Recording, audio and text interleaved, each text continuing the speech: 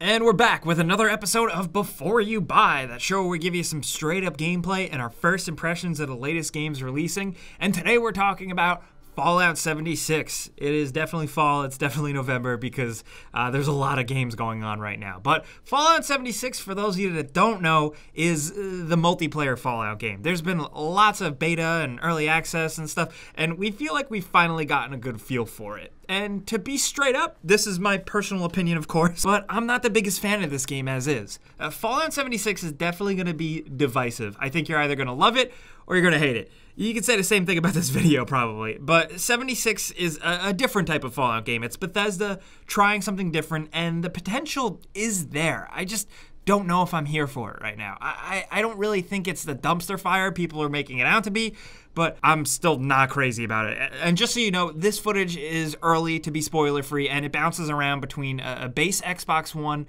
and a current PC. But getting into it, Fallout 76 actually starts nice and briskly. You start out in Vault 76, uh, but you're out and in the world and playing in a matter of minutes. And in fact, there's very little build-up or pomp and circumstance to it like a traditional game. Uh, it tosses you out into the wilds of West Virginia, and I, I gotta say, man, the environment itself is gorgeous and it feels pretty different for a modern Fallout game. Seeing this wide open, strange new environment made me feel genuinely excited to explore it. And I, I, think that's probably the biggest highlight of the game for me. The geography is pretty unique while also managing to have quite a bit of variety to it. Some areas are in worse conditions than others after the war. Some areas are flat, some areas are hilly or mountainous, some are dry, uh, some are dense with vegetation. And there's always stuff hidden around a corner. You know, a weird box to loot, a haunted house to explore, corpses with mysterious letters or holotapes attached to them.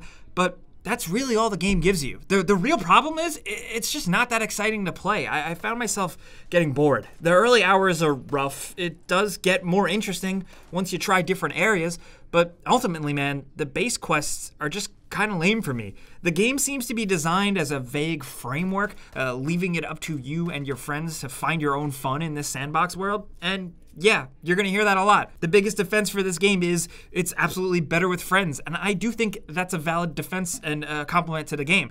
It's just one that I don't totally jive with. Uh, most quests devolve to just basic combat scenarios or getting to a computer and typing something in or talking to a robot. And that's hugely disappointing and has worse ramifications for the rest of the game. Because when Bethesda announced that there would be no traditional NPCs or non player characters in the game world like a typical Fallout game, I had some concerns, but I held faith and belief in Bethesda that they were gonna just, you know, have a new idea or something with this. They were trying something different.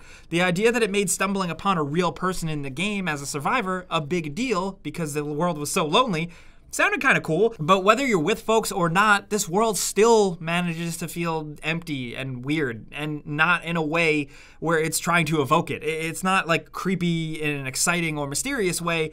It's just not very thrilling at all at least not to me. Uh, quests are one thing and the adventure is one thing, but events seem to be fairly decent. Uh, they start off small and very boring, with you just killing X amount of a basic enemy type. But give it a few hours, spend some time, you'll be doing weird dungeons and like mad dashes to gather components for something or fighting off a giant enemy. This is definitely the game at its best, hands down. Uh, some teamwork can be required, and it can just be good old fashioned video game fun. And it feels satisfying whether you're alone or with pals or randoms in that sense. Some of your enjoyment with this game, though, is to come down to how much you enjoyed certain elements of Fallout 4. Did you like building? Well, there's a lot of that here, and even more emphasis on picking up everything you see and breaking it down for components endlessly. I, I like that in Fallout 4 and was totally hooked on it, and I quickly became hooked on building stuff again here. Having your own little base camp that you can build up in the world that others can see is pretty creative and cool, and I've stumbled upon quite a few other players with their own little creative hideaways already. Now, if you weren't into that part of Fallout 4, you might not be here, even though at least here it's almost like you have more of a sense of ownership.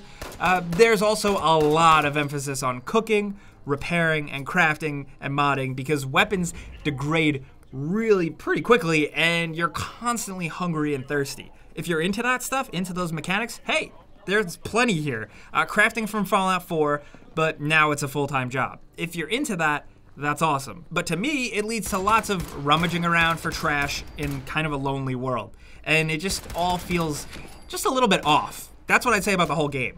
But combat is Fallout combat. Love it or hate it. Uh, when the game can keep up with it, I think the shooting feels pretty competent. The melee attacks feel slightly off though. It's like a distance thing where it's hard to judge sometimes the latency on swinging and it feels kind of whack, no pun intended. Uh, VATS, however, is a disappointment to some but I, I, don't get the criticism because really it's an online game. How could they slow it down? This is basically the best they could have done. Basically, it works as like a timed auto target. You only have access to it if you have AP points, and it lets you essentially hard lock onto an enemy. And uh, depending on the distance and depending on uh, your level, that's where the percentage will be affected. I don't know. It's weird. It, it does feel partially useless, but sometimes I get it. Sometimes it works. Honestly, I'm not convinced on it. I think if they just scrapped it entirely, I think the game would have been fine without it. On the other hand, though, the new special system system, the new way you build up and level a character, the card-based system, while it doesn't feel as RPG-ish as the reasons why I love Fallout, uh, building a deck in, in sense of building a character actually was more satisfying than I expected. I went into it thinking I was going to hate it or thinking it would feel really dumbed down, and while it is more simple, I still got satisfaction out of it. Now, the quality of the combat experience really falls upon the performance of the game, which is my one last big issue with this game. I've had a lot of time with it, and with it being my job, I was able to get my hands on it on the PC version, the Xbox One X version, and then the base Xbox One version. And I gotta say, on a base console, at times the frame rate and crashing almost made the game unplayable for me. Uh, it was really disappointing. I know Bethesda games have their glitches and their bugs, uh, but the core performance here affects how fun combat it really is. And when the frame rate gets bad, it feels really craptastic. And when you get into the denser town and city areas, the frame rate, forget about it. The game is brought to its knees. On PC, uh, obviously, it's had some publicized issues lately, uh, but I've been able to get into matches and stuff, and at least the performance and frame rate is more playable. I don't usually harp on this technical stuff unless it actually affects the experience of the game, and I think here for Fallout 76 it does.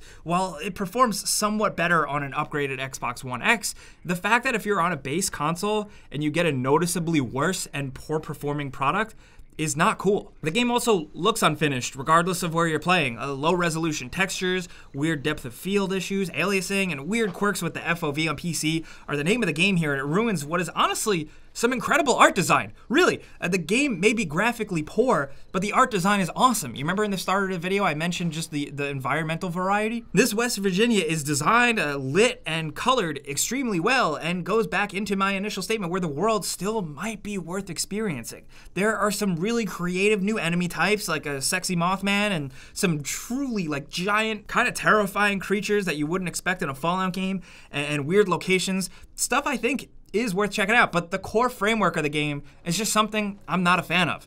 It still feels kind of early access. I almost wish they would have called this that. Hell, even the cosmetics you can buy feel like they haven't had any thought put into them, except for the Pip-Boy skins. Those are pretty cool. But this is a game I still feel has potential. It sounds like I probably dumped on it a lot, uh, but ultimately, I'm gonna be hopping in six months or a year from now just to see how it's grown because I think this can be a good game. I, I just think it needs more time. I'm gonna be avoiding it for now, uh, but I'd love to see where it goes elsewhere. And as much as I did dunk on it, if you're happy playing it, good for you. I, am happy you got a game you like, but I guess I just wanted something kind of different. Regardless, this is a before you buy, and uh, you know how it works. There's some pros, some cons, some personal opinion, and now I definitely want to hear yours down in the comments. Fallout 76. What do you think, dude? Chances are, if you were excited or you played it day one, you've had your hands on it for at least 24 hours by now. Maybe you just played the betas and, and that was it. You haven't jumped into the main game yet. I want to know your perspective. Am I missing something here? Do you think the game can get better down the line, or do you think it's a hopeless cause? Or are you totally in love with it and you don't understand any of the criticisms? Whoever you are, let's talk about this stuff. But if you enjoyed this video, clicking the like button helps us out. We really appreciate that. And it's worth pointing out that you should subscribe if you're new and click that notification bell because we put out videos every single day. But as always, thanks for watching, and we'll see you guys next time.